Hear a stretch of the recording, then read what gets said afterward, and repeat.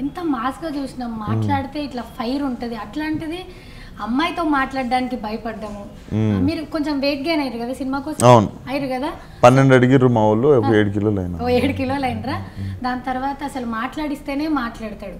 అట్లాంటి క్యారెక్టర్ చేయడానికి మీరు మీ చుట్టుపక్కల ఎవరినన్నా చూసిర్రా? ఇంత ఇన్నోసెంట్ అబ్బాయిని? లే నా చుట్టుపక్కల అట్లాంటి వాళ్ళు తిరిగి అట్లుండదు కానీ.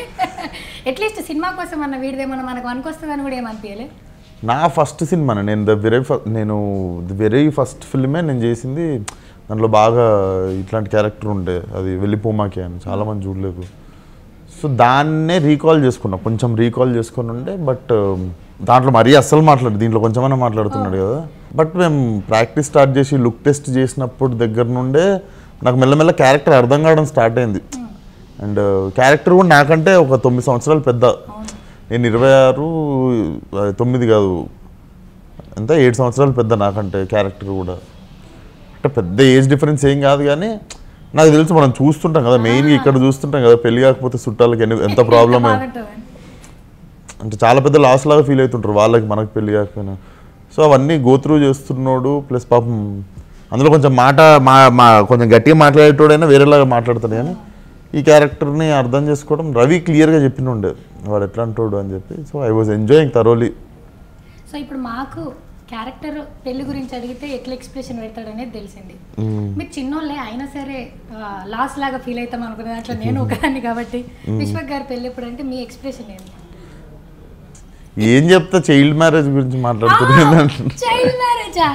ఇంక మనసులో ఈమెకి ఎందుకు అని అనుకుంటారా? లేకపోతే అబ్బా ఈ కన్ని తీరిపోయిన నా పెళ్ళి గురించి వచ్చింది అనుకుంటారా? ఏమనుకుంటారు? నేను అట్లేం అనుకోను. ఎవరన్నా అడిగితే అంటే ఇప్పుడు నేనేమి ట్వంటీ వన్ ఇయర్స్ కాదు కదా. ఏ ఇప్పుడే ఎందుకు? ఎందుకు అడుగుతున్నావు? ఆ క్వశ్చన్ అన్నికే లేదు. ఇప్పుడు అడుగుతుంటే అనిపిస్తుంది ట్వంటీ సెవెన్ వచ్చినాయి అమ్మ ఇంకా చిన్నపిల్లలం కాదా ఇంకా అని చెప్పి అనిపిస్తుంటుంది. కానీ చేసుకోవడం అనేది మాత్రం అది అది వచ్చినప్పుడు ఆగదు కదా. నాకైతే తెలియదు అది ఇప్పుడు సినిమాలో తెలంగాణ ఆంధ్ర రెండు issues ని తీసుకుని ఇష్యూ కాదు. అమ్మాయి అక్కడ అమ్మాయి ఇక్కడ అబ్బాయి లాగా ఇట్లా తీసుకున్నారు. మా దీనికి రిలేటెడ్గా దీని డైలాగులు ఉన్నాయి? వాళ్ళకి రిలేటెడ్గా వాళ్ళ ఆచారం వాళ్ళ ఫుడ్ చూపించేది ఉంది. ఎక్కడ కూడా ఒక నెగిటివ్ మార్క్ రాకుండా ఒక కాంట్రవర్సీ రాకుండా అంత అద్భుతంగా డీల్ చేయడానికి మీకు అంటే ఏమన్నా ప్రతిసారి చెక్ చేసుకున్నారా? వీళ్ళు అనొద్దు వాళ్ళు టార్గెట్ చేస్తారు వీళ్ళు అనొద్దు వీళ్ళు టార్గెట్ చేస్తారు అని. లైక్ ఒక డైలాగ్ ఉంది. మేము తెలంగాణ వాళ్ళం. మాకు మటన్తో మర్యాద మర్యాద ఒకటే సరిపోదు మటన్ కావాలని. సో వాళ్ళేమో మర్యాద.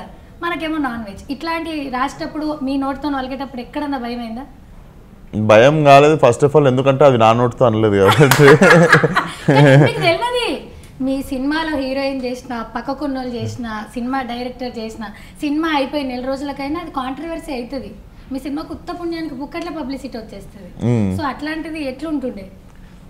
అంటే బాగా ఇప్పుడు ఒక లైన్ ఉంటుంది కదా ఆ లైన్ దాటకుండానే ఉండే ఎంతవరకు కామెడీ ఉన్నా ఈ ప్రాంతీయ భావం గురించి ఉన్నా కూడా. ఇప్పుడు వెన్నెల కిషోర్ ట్రాక్ వచ్చినా కూడా అరే తెలంగాణ వాళ్ళు అంత దూరం నుండి వచ్చిర్రు. వా- వాళ్ళు వచ్చిర్రు వాళ్ళ వాళ్ళు మన మన వాళ్ళని వాళ్ళు ఎట్లా చూసుకుంటారు? వాళ్ళని మనం ఎట్లా చూసుకోవాలి అని చెప్పి ఉంటుంది కదా. నాకు తెలిసి అది రవి నీట్గానే బ్యాలెన్స్ చేసిండు అనుకుంటా అది. నీట్ గానే ఉంది బట్ చేసేటప్పుడు ఏమన్నా? ఏం లేదండి అసలు ఆలోచన కూడా రాలేదు.